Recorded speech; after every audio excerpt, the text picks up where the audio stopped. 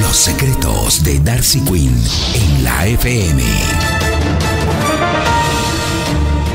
6 de la mañana, 17 minutos. Los secretos con Darcy Quinn, la mujer mejor informada de Colombia.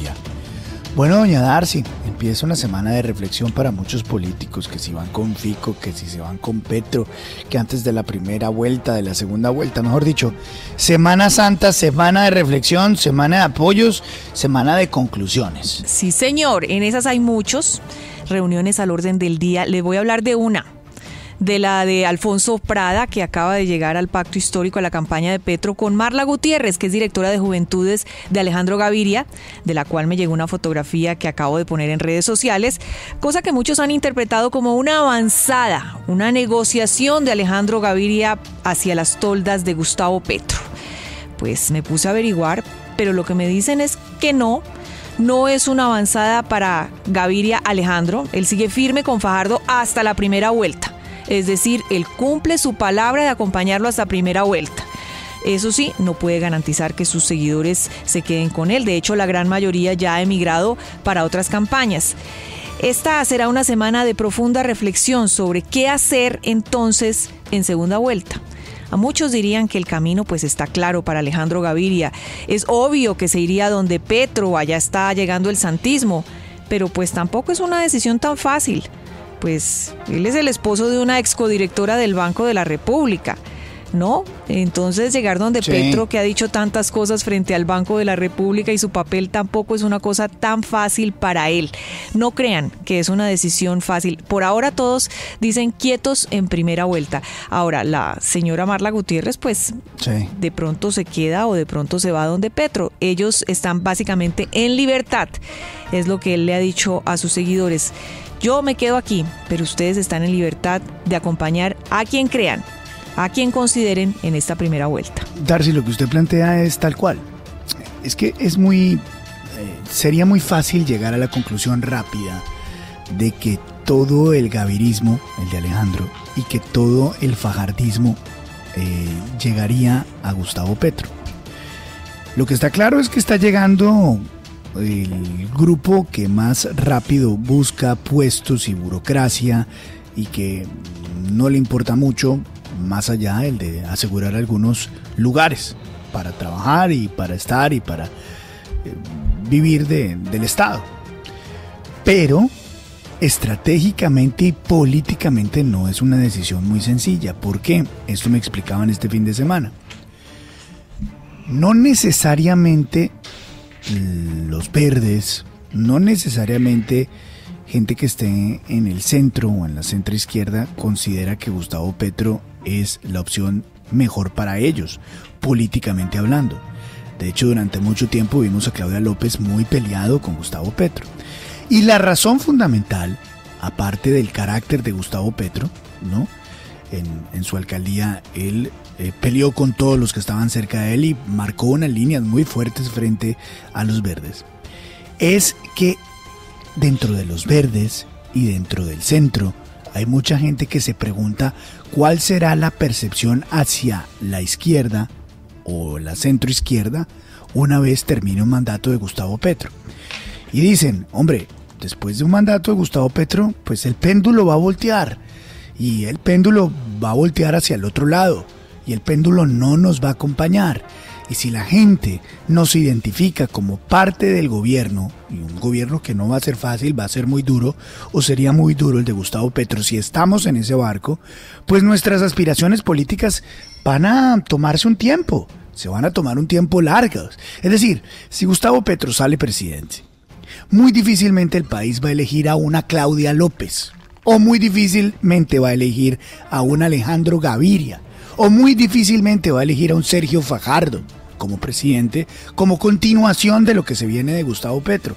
Eso ellos lo tienen muy claro. Entonces, no es tan fácil dónde se van a ubicar políticamente hablando.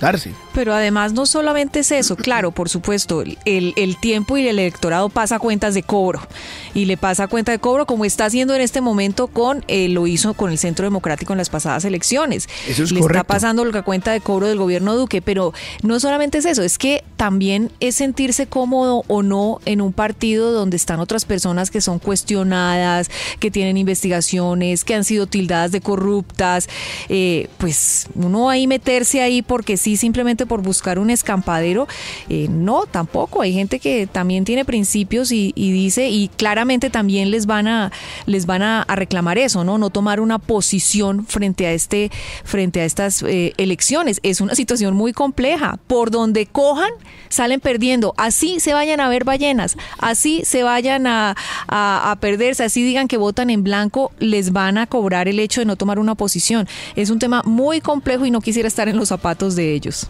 Sí, muy complejo, muy Luis complejo. Carlos, Juan. Sí, señor. el gran evento que hicieron con los verdes, con Petro la semana pasada, la verdad era que casi todos ya estaban con Petro desde antes. Pues qué novedad que el doctor Camilo Romero esté con Petro, si estaba en esa consulta y está obligado a apoyarlo. Qué novedad que Carlos Ramón González esté con Petro si viene con él desde el M19.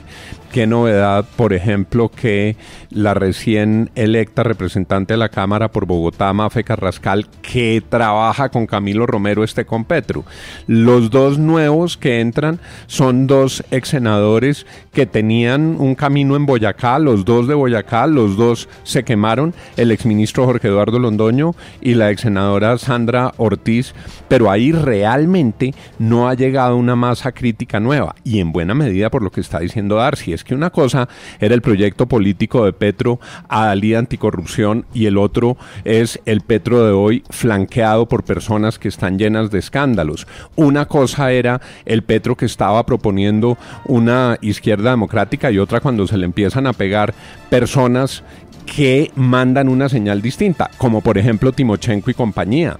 Es que lo que se piensa Alejandro Gaviria, lo que se piensa Claudia López, una cosa es haber apoyado el proceso de paz y otra querer ser socio político de Timochenko y socio político de Victoria Sanguino y socio político de Lozada. Son dos cosas distintas. Una apoyar el proceso de paz, pero la otra ir montado en el mismo bus en el que sí, además están sí. Benedetti, Roy Barreras y todos los sectores que muchos de los verdes habían criticado. Entonces, Cierto. semana de reflexión. Semana de reflexión. Por último, sobre este tema, sumándome a lo que dice don Juan y lo que dice doña Darcy.